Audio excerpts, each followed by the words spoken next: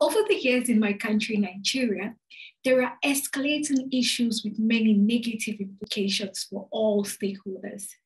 Now, two issues that stand out for us are one, the overwhelming number of about 11 million children on the street of Nigeria and the social vices that they imbibe. And two is the underutilization of the hidden potentials of street children present in Nigeria. As a result of this, Nigeria has witnessed the increasing rate of armed robbery, prostitution, thuggery, confidence stealing such as 419, and kidnapping, ritual killings, and other crimes. Now, studies have shown that a viable solution to this kind of problem is empowering children through education.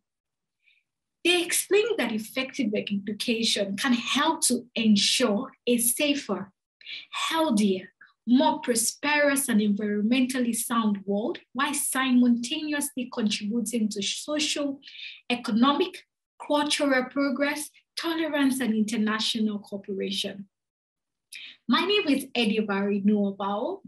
I'm a Ban Ki-moon Global Citizen Scholar 2021. The name of my project is Getting the Children Off the Street. Now, this project focuses on getting street children that are living in slum communities in Nigeria off the street by empowering them through quality education, be it formal, informal, or vocational education.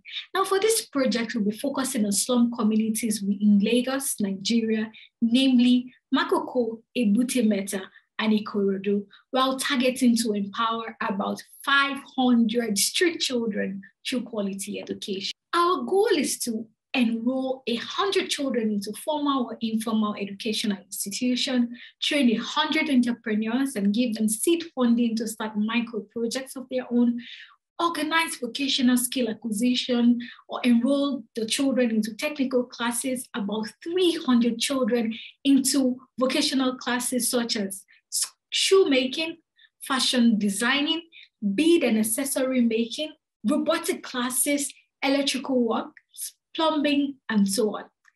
We also have a goal to organize sensitization and advocacy program to enlighten the entire public on the plight of the street child and what the way forward is. Our project focuses on the United Nations Sustainable Goal 4, which is quality education. Specifically, we focus on giving the children equal rights and access to formal and informal education in both primary, secondary, and tertiary education. We focus on assessing quality technical and vocational education for the children, and also making inclusive quality education, irrespective of gender, disability, or heritage. And lastly, we specifically focus to sensitize the children on the United Nations Sustainable Goals and how to apply them. Now, this means that at the end of our project, we would have transfer of knowledge and skill and empowered street children. That's the 100 street children enrolled in formal and informal institution, the 100 street children that are going to en- en- undergo entrepreneurial trainings and be given seed funding, 300 children that are going to um, undergo vocational skill acquisition. And at the end of this project, we also will achieve raised awareness to the plight of street children and the ways forward through advocacy and sensitization program. Education is the most powerful social change instrument.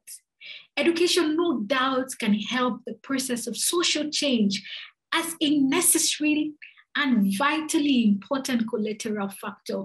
It can help to stimulate, to accelerate, and work out the process of disseminating and inculcating knowledge, information, skill, and values appropriate for the changing of social economic issue.